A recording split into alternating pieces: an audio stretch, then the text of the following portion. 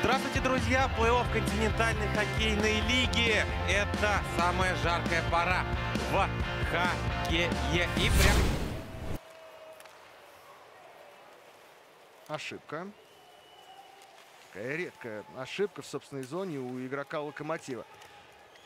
Каюмов потерял шайбу, но при этом э, его партнеры не давали долгое время сочинцам развернуться. И все-таки Капустин завершил эту атаку, забросив в ворота своей бывшей команды.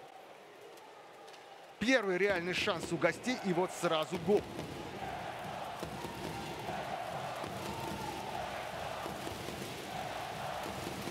И, конечно, невероятно рад. Беда не приходит одна. Еще и на вбрасывание. Неправильно повел себя Локомотив, и поэтому пропускает вторую шайбу. Давайте посмотрим, как это было. Во-первых, здорово открылся в зазор между двумя обороняющимися хоккеистами Локомотива. Вот смотрите. И Россен сделал изумительную передачу. Вроде бы не сильный бросок у Йоки Паки, но точно шайба попадает в уголок.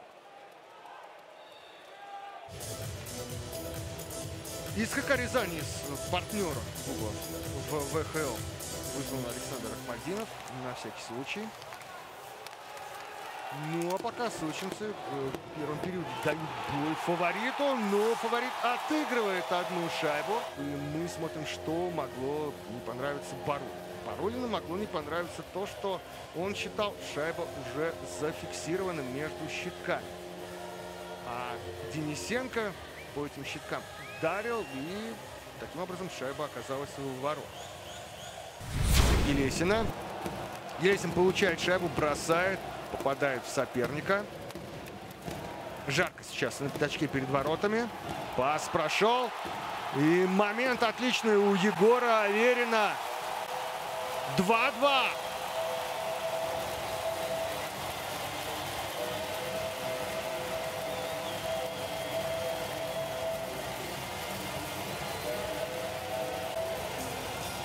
Затяжная атака хозяев приводит к взятию ворот. Ну, может говорить резкие слова. Он человек, который за словом в карман не полезет и критичен к себе, к команде бывает. Локтионов. Хорошая передача на Кронвелла, и тот выводит свою команду вперед. А так все плохо начиналось для Локомотива. Но смотрим повтор. Накладал.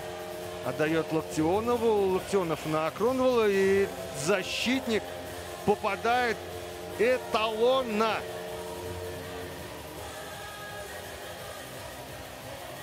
Казалось бы, все перекрыл Барурин, сел на щитке. А все-таки лазейку, щелочку нашел капитан Локомотива движение. Файгин на синий. Он сегодня дважды попал в штрафной бокс.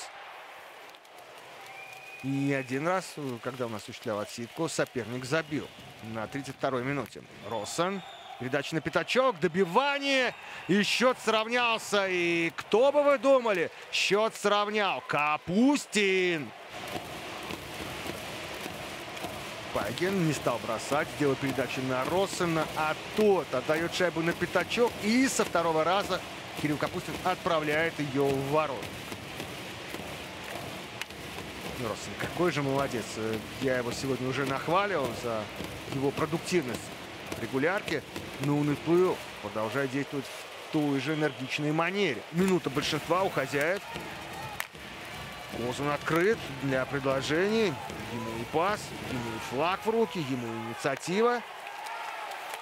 Бросок и шайба не залетает в ворота. Оптический обман.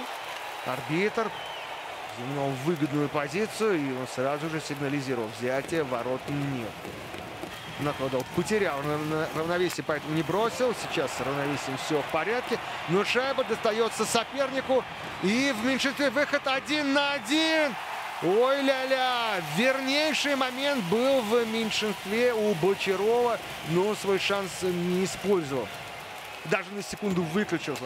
Настолько был разочарован тем, что не смог эффектно завершить забег чужим воротам.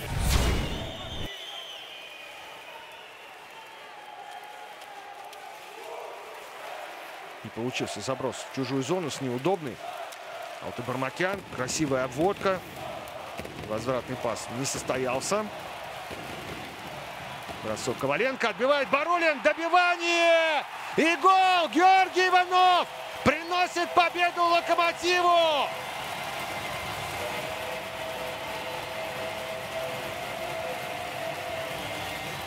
В данном случае Барулин даже спорить не стал. В первом периоде он спорил из-за гола Стефана Кронвелла. Сейчас никаких возражений арбитра. И в итоге 20-летний Георгий Иванов приносит победу своей команде.